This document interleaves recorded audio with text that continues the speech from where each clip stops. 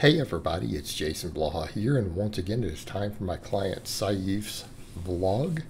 And uh, we had a pretty good week overall. As we said last time, he wanted to go over to a three-day squat bench deadlift, uh, mainly because, again, he gets some overuse issues in the upper body. It's a very physically demanding job. And uh, so benching was a little hard because we're still dealing with some bicep recovery. Uh, again, he can only handle so much workload on things like rowing uh, we're working on that of combining it with his job. And everything went great but benching. And even then, it wasn't terrible. We got two reps at 95% training max. All right, we got two reps, which, you know, overall, honestly isn't bad other than his bench and everything just been climbing for months. Uh, but squat and deadlift went phenomenally well. All right, they went phenomenally well uh, because he left reps in reserve on those and he's ordered some more equipment. We're going to be able to do seal rows starting next block. Uh, so again, we've got a, we've got a lot of stuff to work with, just like the hyperextension bench he's got. Fantastic. So because of the, the rowing has been a little bit of an issue, we're doing uh, lat pull downs. Right, he's able to do lat pull downs right now with this narrow grip, and this is what we're doing for his back you know, for this week while everything's recovering, uh, and his, his physical therapist has gone over some stuff in the arm, and a lot of it's related to overuse from his work while trying to do rows. We have to be very, very careful with the total volume. But his uh, his bench press day, we do benching. We do five sets of 10 on the bench. He does today lat pull downs instead of uh, dumbbell rows, and then we do high rep band press downs, which again something I'm a big fan of, along with plate front raises. So again, continuing to build the shoulders. Because he has historically done a closed grip benching, we need to build delts, triceps, lats, right? That's what really brings up closed grip bench if we're going to uh, bench closer grip. And he does just fine with a closed grip. He did all his overhead press and close. He has massive triceps. And uh, so, yeah, that's going to be the game plan. Just keep building it up. And again, all the rowing will help as we're able to do it. But uh, again, triceps. All we do for his arms at this point is, is band work, right? We do his big multi-joint exercises and we do band work for arms. And yes, I call them multi-joint. I always kid that, and you know, it's one of my pet peeves, by the way. People will say, well, Blaha promotes big compounds. No, I don't. There's no such thing as a compound exercise or an isolation.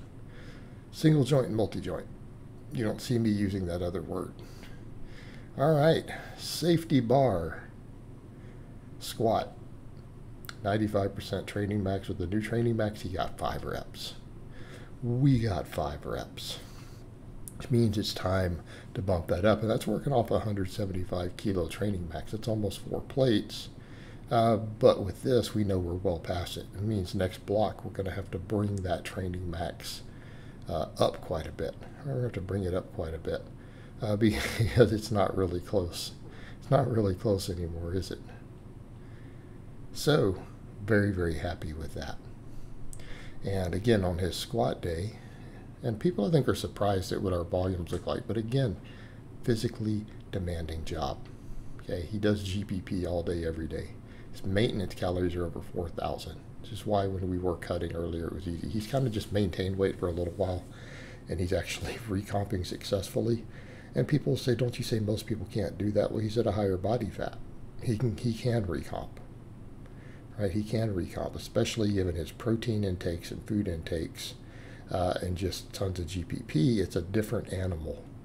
It's a completely different animal than some of these skinny kids thinking they're going to recomp on 2,500 calories. Okay, totally different beast. Uh, and of course, we do his 5 by 10 with the, the buffalo bar for back off work uh, or as we would call it, assistance work would really be the correct term, because it's not back off, is it? It's not. It's assistance work. Then the accessory would be these belt squats. Right? This is our squat accessory for him. And that's that's really all that we do. We just program appropriate volumes on these things. But we're still up in that optimal range, and people have to remember that. You look at it and go, well, wait a minute, what are we doing? Uh, we ramp to a heavy set of squats, 5 by 10 buffalo bar squats, 5 by 10 belt squats. Uh, we're up in that 11 to 13, depending on how you want to count the ramp up sets of squat work. That's how many sets we're doing. Same kind of as benching. Right. One argue only doing about six quality sets of bench, okay. True, but then we do the plate front raises, band press downs, all that stuff. Uh, all the lat work.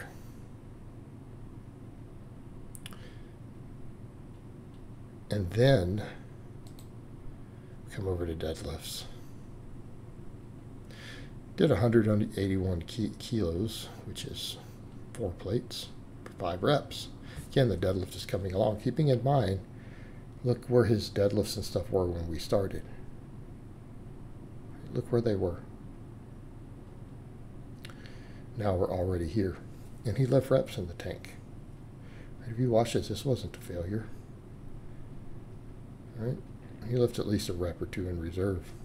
He can pull five plates. He can pull five plates right now. And it's going to keep going up.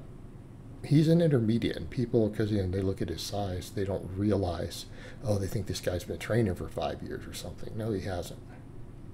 He hasn't. He's trained less than two years and with lots of entire months off due to injuries because before I got him, he's hurting himself all the time. Hey, the rest of our deadlift day looking like? We do five sets of 10 on the back off work. And then, of course, he does, uh, after that, we do hypers, 45 degree hyper extensions. He's doing them weighted, uh, and he's getting stronger and stronger. So, the same thing, you know, we do a peak set of deadlifts, 5 by 10 back off. We do 5 by 10 45 degree hypers and then he's doing some band curls, right, just to keep those tendons healthy to work on that area, get blood flow to it, uh, stuff that we need to do. So we'll have that in here. But yeah, back off deadlifts. Lots of volume there. And the hyperextension seemed to be helping a lot. He's noticed his low back is getting stronger and stronger from those, which is what we need. We need to build that area. And it gives us the extra posterior chain development we need to do this. So really, you know, outside of just lots of squatting and deadlifting with the bars that he has, we really are only doing belt squats and hyperextensions. And for him, that's enough. As long as we keep the total volume in check, uh, we keep the food high, we deload frequently. You know, and, and he likes this type of training. He doesn't want to go over to conjugate. He likes this, so this is what we're going to run. That's what we're going to run. He's worried about hurting himself, hitting training maxes all the time. I'm like, okay, that's fine. Because again, he, he's his own, what he knows his own ego with all of it. But very productive week, and I feel like he should be fully recovered as that bicep completely heals up those bicep tendons. Uh, we should be in a very good place next training block to get that bench up also. All right, guys, but that's really all I have to say on that today. I hope it's been informative, and I'll talk to you guys next time.